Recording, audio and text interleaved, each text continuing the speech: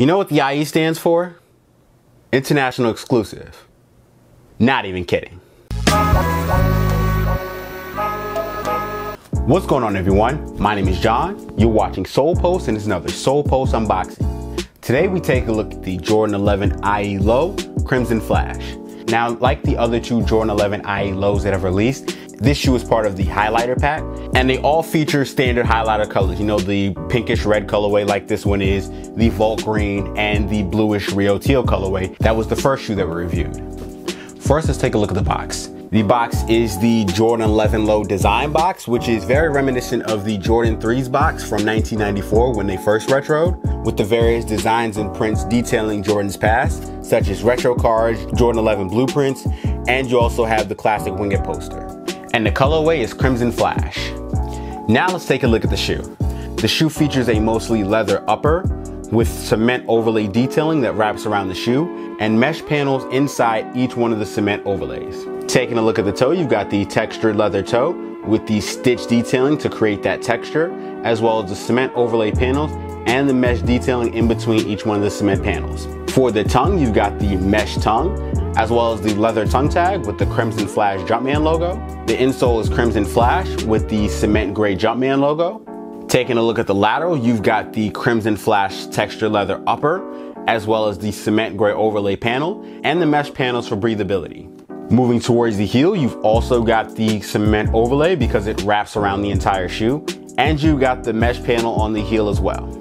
The medial is identical to the lateral, so you've got the upper, which is textured leather, as well as the cement overlay panels and the mesh detailing. You have a Phylon midsole with the carbon fiber shank plate, and this is Crimson Flash. And the outsole is a translucent outsole with the traction pods and the Jumpman logo in Crimson Flash. When I first saw pictures of this shoe, I thought it was more of an orangish colorway. It reminds me of a infraredish colorway. That's the best way to describe it. And I know that a lot of people aren't fans of the Jordan 11 IE Low, but this colorway is a clean colorway, as is the Volt colorway. I'm not too hot about the Rio Teal colorway though. Now let's get some detailed looks at the shoe, and I'll catch you after the jump.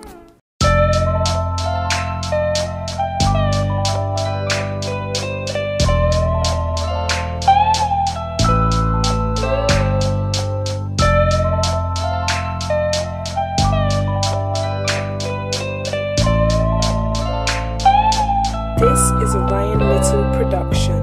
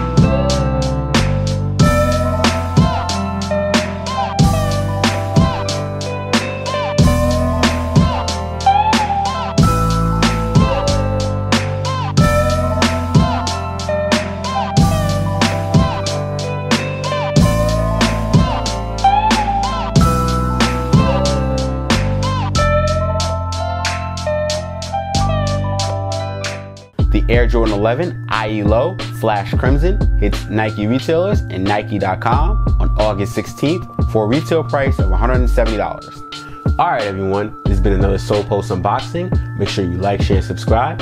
Hit the notification bell icon so you're kept up with everything we do on the Sole Post channel. Check out solepost.com for more news, sneaker releases, and sneaker info. Also, you can follow us on social media here.